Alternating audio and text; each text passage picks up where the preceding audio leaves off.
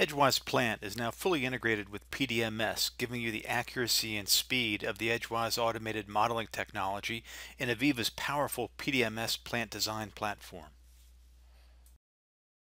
With the Edgewise Plant PDMS plugin, Edgewise intelligent models can be brought into PDMS as fully functional, properly specified pipe models, with full intelligence such as pipe diameter, pipe and component specification, as-built location, and more. This video will show you the simple workflow and specific steps for exporting Edgewise plant models to PDMS. Once your model is completed in Edgewise Plant, click the Export to PDMS button in the File tab. A dialog box will open. Name your model and click OK. Edgewise will save the model as a C3 PDMS file, which is readable by PDMS. When you install the PDMS plugin, a ClearEdge tab was inserted into your PDMS user interface.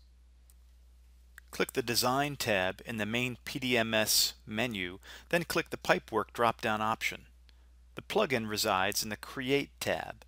Click it, then click ClearEdge 3D Import in the drop-down menu.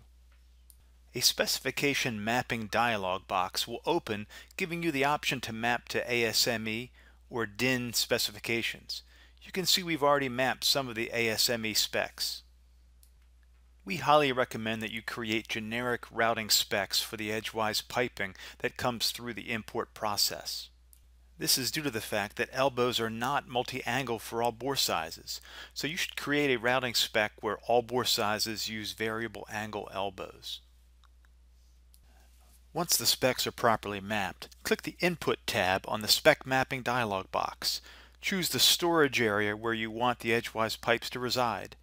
In this example, under the router site folder, I'll be storing the pipes in the router site pipes location. Once the specs are properly mapped, click the file name that you will be importing, then hit apply. The Edgewise Intelligent model will be imported and converted to a PDMS model with full intelligence.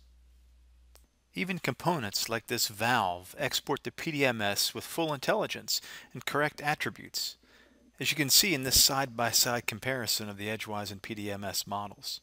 Occasionally, some pipes won't import into PDMS. The plugin creates an import log that is located in the home directory of the user as identified by the environment variable PDMS user. The log is named clearedge underscore import underscore errors.txt. Any pipes that don't import properly are listed here. That's the workflow for exporting the Edgewise Intelligent model directly to PDMS. For more information on how the PDMS plugin works, consult the Edgewise Plant Startup Guide in your Help tab or email us at support at clearedge3d.com.